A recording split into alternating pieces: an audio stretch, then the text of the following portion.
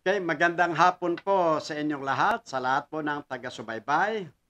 Welcome to our YouTube channel, The Pillar of the Throat.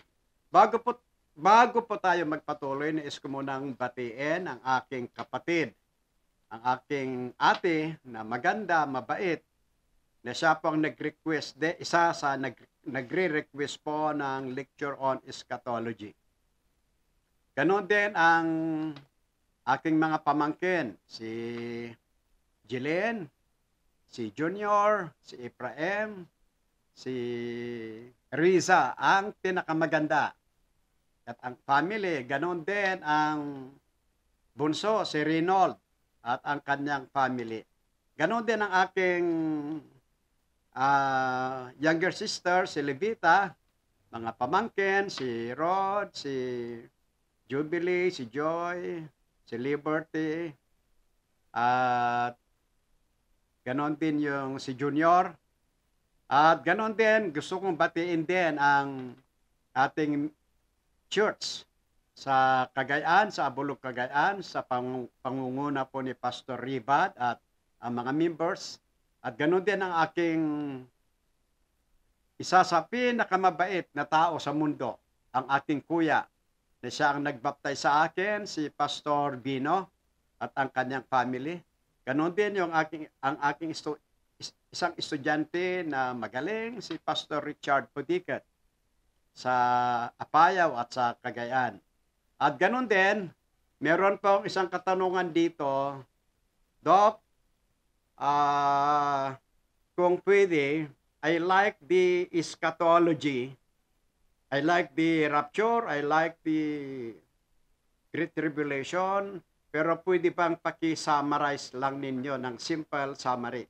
Kasi medyo nalito ako at kahit kunting summary lang before you enter the other events. Salamat po. Okay, sa oras na ito, ah, pag-aralan natin muna, o kaya mag-summary muna tayo, I should say, as per uh, the request or para sa nag-request na we are going to study first the simple summary of the eschatology, the rapture, and the Great Tribulation. Ah, nung last episode po natin, last po na pinag-usapan natin is the seven vials judgment. Pakita nga yung picture. Tingnan lang ninyo sa screen. Ah, yan po yung ating napag-aralan. Ah, as I previously mentioned that the 21 disasters and tragedies uh, are divided into three. The seven seal judgment, the seven trumpet judgment, and the last is the seven vial, vials judgment. So, yun po ang ating napag-aralan. So, punta muna tayo sa review. Before we enter the next event after the seven vials judgment, yun nga sinabi ko kanina, eh, para naman sa nagtatanong, magkaroon ng simple summary. Ito po yung simple summary.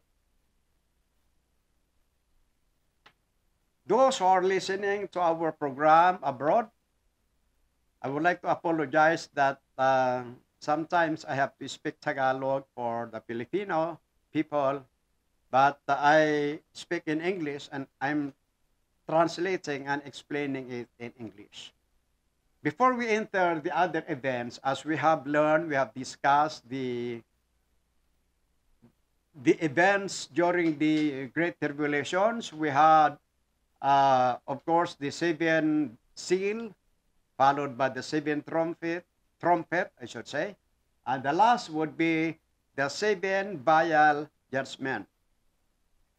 As I said a while ago, before we enter the next event, uh, there is a request that I have to make a summary, simple summary of the rapture and the Great Tribulation. So we believe, excuse me, we believe in the second coming of Christ.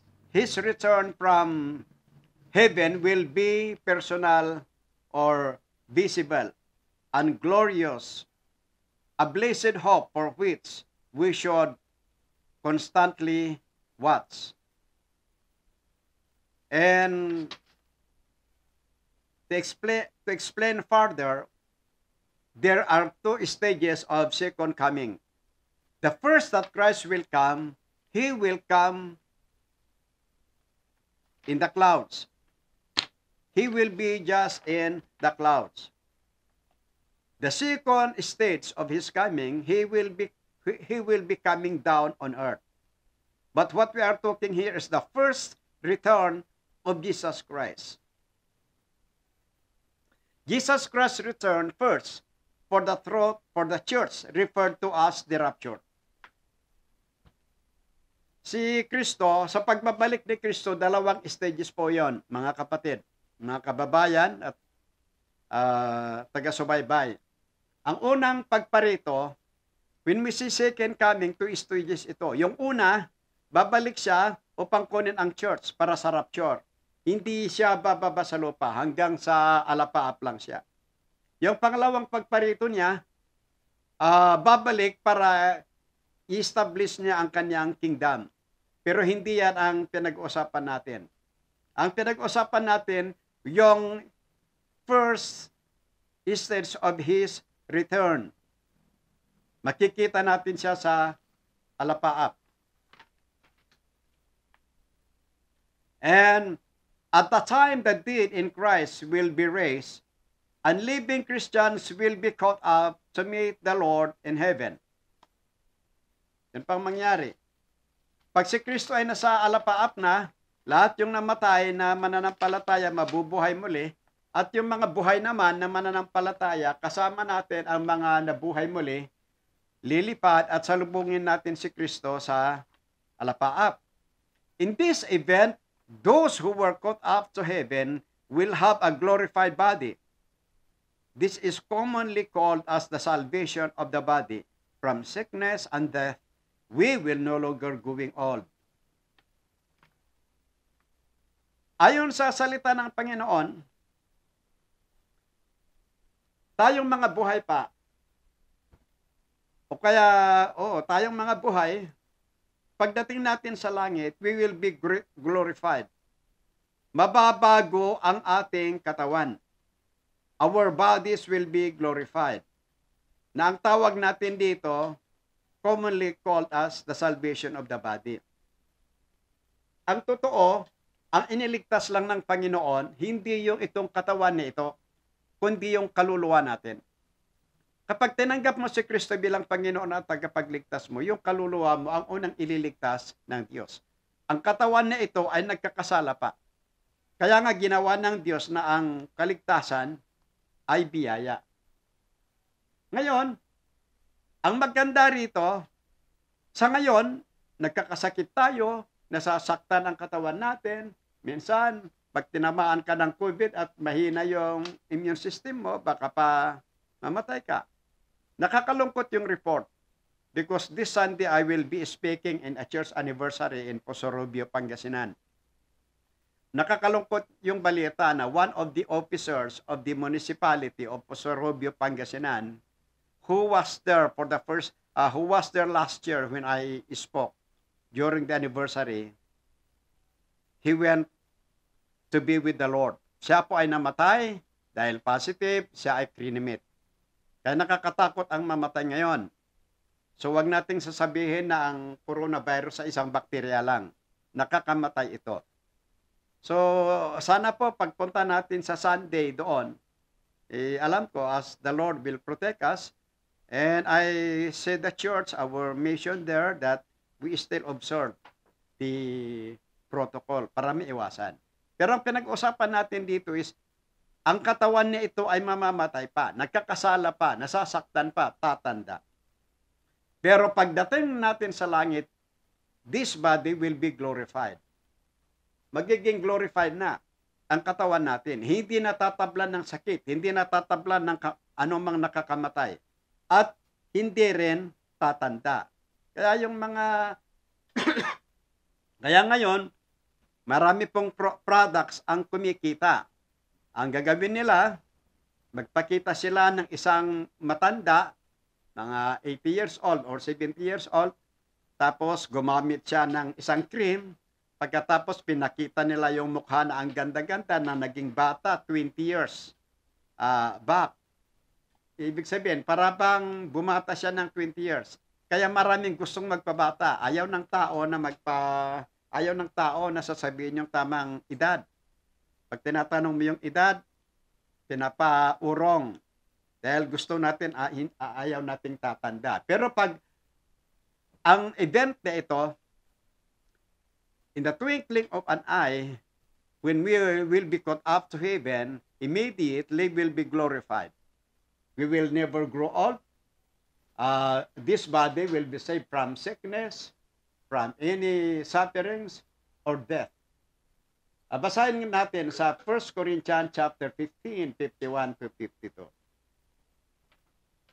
1 Corinthians chapter 15 verse 51 and 52 Masdan ako ay nagsasabi sa inyo ng isang misteryo, tayo ay hindi lahat matutulog, tatapat tayong lahat ay mababago. Verse 52 Sa isang sandali sa pagkisap ng isang mata sa huling trompeta, sapagkat ang trompeta ay tutunog, at ang mga patay ay maibabangon na walang kasiraan, at tayo ay mababago. Okay, so very clear. Mababago na ang ating katawan. At ang pag-aralan natin, ito previous lessons ang mga ito, pero sinasummarize lang natin para ang nagtanong dito at least ma mapagdugtong-dugtong. So number three, we will meet Christ in the air. So, so we will meet Christ in the air. And immediately, Christ brings us to heaven, where His throne is found then we shall be rewarded according to what we have done. Pagkatapos ito, dal, dalhin tayo ni Kristo. Dadalhin tayo ni Kristo sa kanyang trono. Then pagkatapos, ang lahat po ng Kristiyano na dapat bigyan ng gantimpala ay bibigyan. 2 Corinthians chapter 5 and verse 10. 2 Corinthians chapter 5 verse 10 sapagkat tayong lahat ay dapat magpakita sa harap ng hukumang luklukan ni Kristo, upang ang bawat isa nawa ay matanggap ang mga bagay na ginawa ng kanyang katawan, ayon doon sa kanyang nagawa, maging ito man ay mabuti o masama. Okay. So,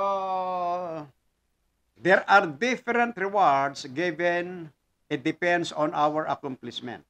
Iba-iba po yung rewards na ibibigay ng Panginoon. Depende sa ating uh, faithfulness. Depende sa ating ginawa. So makita natin dyan. Yan, imagine yung gold. And number five, then we enter the myriad supper of the Lamb.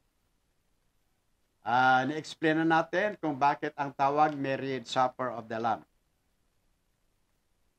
Then number six, While the glorious and joyous events in heaven, as previously mentioned, the earth shall be placed under the wrath of God or the great tribulation.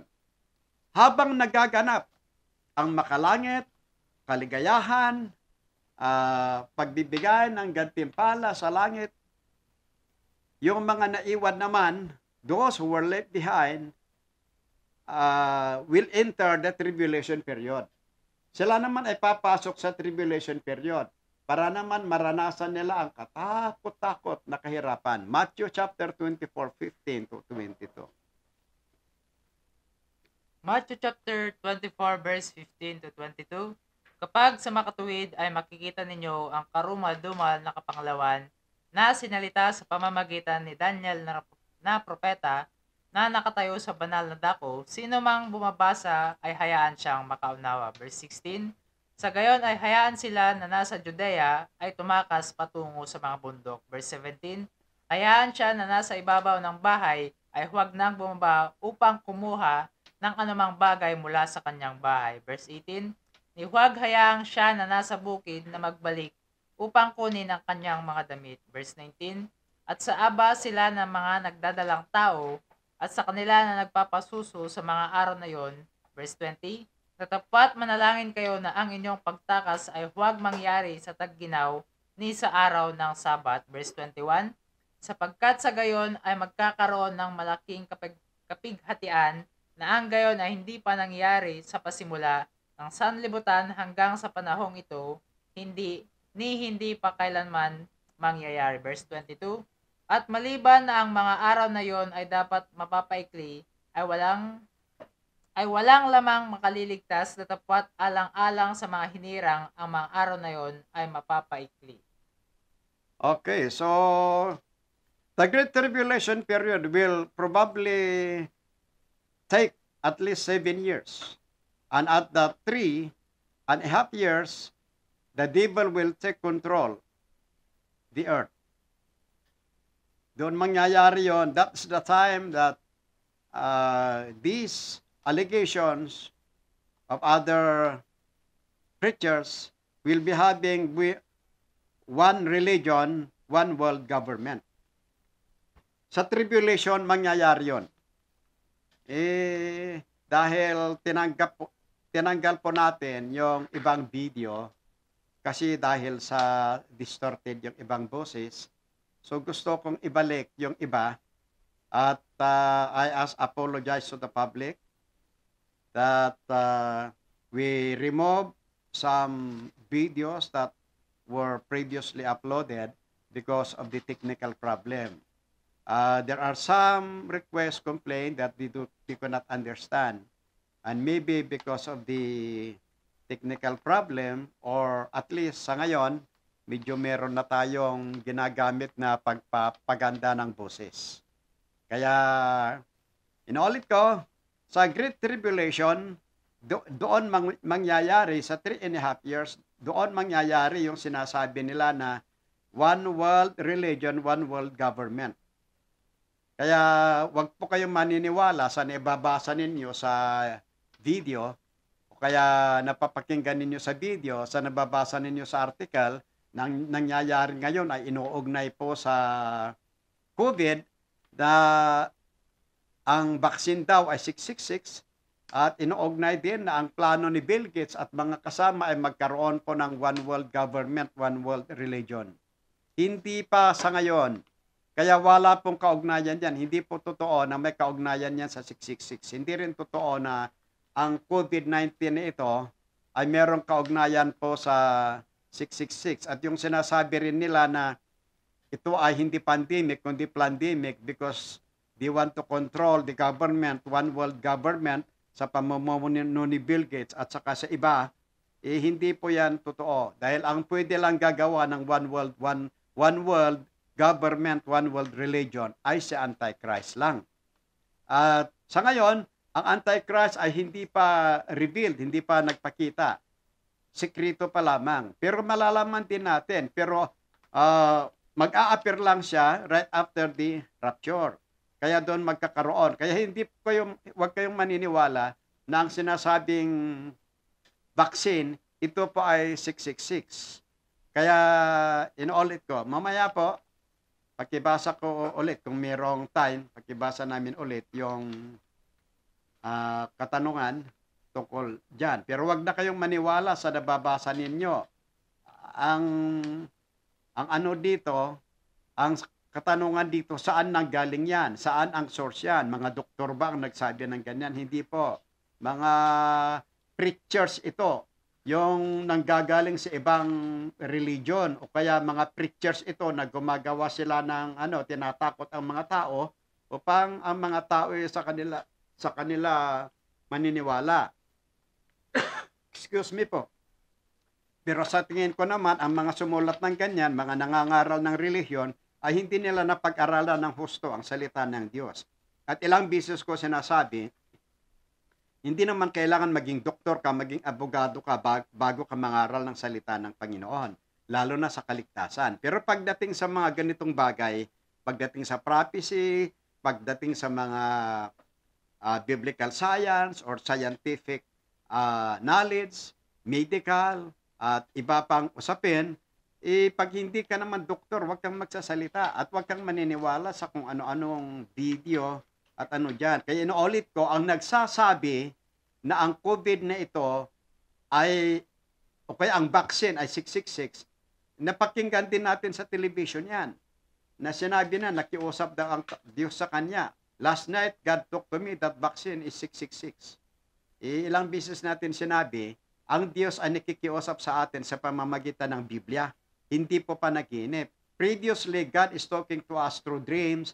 God is talking to us through angel. But when God realized that the angel appears, the angel or the angel of the devil appears to be the angel of light, and of course, the devil can has the devil has also the ability to use the dreams, and that is the reason why God made a way wherein the devil should cannot even you know distorted his word. That is the reason why there is a Bible. Kaya nga meron tayong Bible. So, kung ang sinasabi ng isang nangangaral ay wala sa Biblia, Antichrist yan. Kung wala sa Biblia, yun ang sinasabi ng Biblia na false prophet. Hindi tayo pwedeng magturo ng wala sa Biblia. Kaya yun po ang dahilan na maraming nalilito ngayon. At yung sinasabi rin nila na ang COVID-19 ay hindi po virus. Yan po ay isang bakterya lang. Huwag, huwag kayong maniwala, hindi doktor ang nagsabi dyan. At ang mga preachers naman, na kung sino pa kasi yung hindi nakapag-aral na preacher, imbis na matuto silang mag-aral naman sa mga nag-aral, magkonsulta, hindi. Mas ma-pride pa ang mas, mas ma-proud pa ang mga ito dahil sa kanilang pride na kaming nakapag-aral, kaming mga doctors, minsan, igalit sila sa amin. I magpasalamat kayo na at least may mga Pil- Pilipino na nakapunta naman sa Amerika, at least nag-aral, nakapag-doktor sa Amerika. It's not easy to go to US. I got my four doctorate in US. I have no money, but God has provided the needs only by His grace. Dahil sa, siguro, mula noon, gustong-gusto kong mag-aral. Almost 40 years ako nag-aaral. Nung una, ang ginagamit noon sa US is modules. Hanggang sa na-develop ang online. Then 2013, I went to US, then I came back 2016. Kaya ang itinuturo ko sa inyo ay hindi po palaran. Talagang pinag-aralan ko ng husto kasi mahirap magkamali. Alam niyo ba, na kapag yung medical doctor ay nagkamali sa gamot na irinisita sa pasyente, yung pasyente maaring mamamatay din. Yung abogado naman, pag nagkamali yung pag-handle, pag-handle ng kaso, baka naman yung kliyente niya ay makukulong. Yung nangangaral naman ng salita ng Diyos, kung hindi tamang kayang itinotoro, ay baka naman ang tao pupunta sa impyerno. Mas nakakatakot yon. Kaya, hindi ako nagpapakayabang. I'm not bragging. I'm not exalting myself. The only purpose why I say this is to convince you that I am not teaching something that I, I did not learn. Para lang maniwala kayo nang itinuturo ko dito, hindi po palaran, kundi na pag-aralan ko. Pero hindi po ako nagmamakayabang. Kaya po tayo nagtuturo, I am the representative of the International School, the Salt Lake Baptist College Graduate Studies in the Philippines. Ang purpose po natin, makatulong po tayo sa mga pastor na gustong mag-aral. Ito po ay libre. Binigay ko ito noon na libre. May estudyante tayo galing Pampanga, galing Bulacan, galing Sambales, galing Bagyo, galing Lawag, galing Apayao. At salamat sa mga estudyanteng ito. Galing Pangasinan, galing Isabela, galing Biskaya, Cabanatuan. At salamat sa kanila, sa kanilang testimony na marami silang napag-aralan. May mga kapastoran naman dyan hindi nag-aral na walang ginawa kundi sasabihin, oh, Dr. Dayogo, nagpapasikat lang yan. Kaya wag tayong magbibintang sa mga tao na gumagawa ng kabutihan. Sa akin naman, noon, I feel discouraged but I realized that I should not go down to their level. Kung ano yung alam ko na maganda, gawin ko para sa Panginoon. Pag nagtuturo man ako ng graduate studies, iginagawa ko yan para sa Panginoon. Okay, so there are around 21 disasters or tragedies to come during the Great Tribulation period. The seven seal judgment, the seven trumpet judgment, and the seven vial judgment. So yun po ang ating napag-aralan. So right after the Great Tribulation, what is next? What is next after the Great Tribulation? Yan po yung susunod na pag-aralan natin. Pero gusto ko munang ah, basahin muli ng ating staff yung,